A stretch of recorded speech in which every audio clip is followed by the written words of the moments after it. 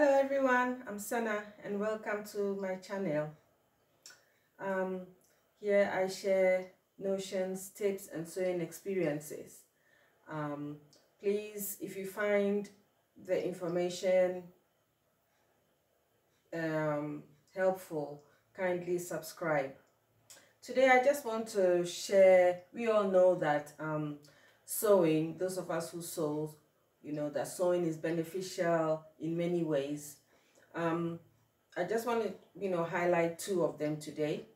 Um, one of them being self-expression and then the other being problem solving. Self-expression. In this case, um, if you see this dress I'm wearing, it's I made it myself and making the dress gave me a, a chance to express myself in regards to the fabric I chose, the design, the color of the fabric and um, the print itself of the fabric. And that's one thing sewing gives us. It gives us a chance to express ourselves in different ways. And yes, and I'm really happy with it. It's a pattern I use, a Simplicity pattern, which I will be sharing in another video very soon.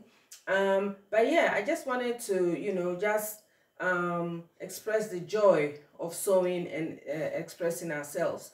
Another being that, you know, when you buy a store-bought pattern, it's usually um, tailored to suit a standard figure. But when you sew your own clothes, even if you use a pattern, you can adjust it to your own taste. And in this case, I chose a princess seam line because I tend to be fuller um, from my waist down. And a seam, princess seam line gives me a, an illusion of height as well as a stream, more streamlined look. And yeah so one of that's one of the reasons. Also the empire seam line which you know is sits about um two inches above my waist. So that all you know helps to um make for a more flattering look.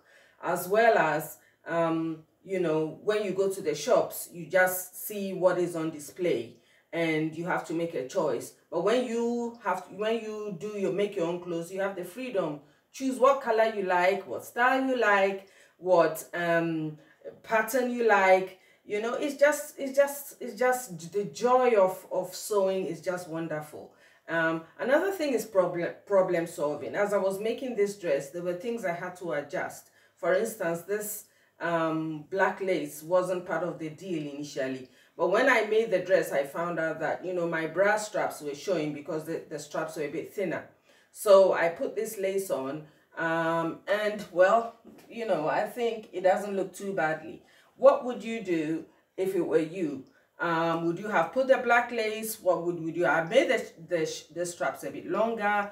But they were, it still didn't work out. So please share, you know, your joys, you know, your disasters, and how you you know solve them. Because problem solving is part of um, sewing we're always trying to find solutions to um, problems in short. Or you know trying to find a way to make things better.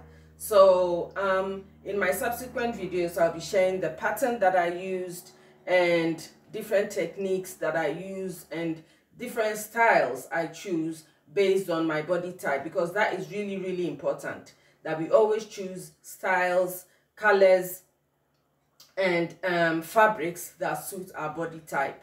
Um, so yeah, I used my um, Innovis F480 to make this dress and um, I will be um, sharing other um, clothes that I make as I go along. I'm usually a handbag designer, not a dressmaker, but I just decided to try my hand at making a dress and I believe that it turned out nicely. I hope that you can see the dress in full. Um, let me move the camera back a bit. Hopefully um, you can see what it looks like. I'm sorry my lighting in here is not that great today um, and my camera skills are not that good.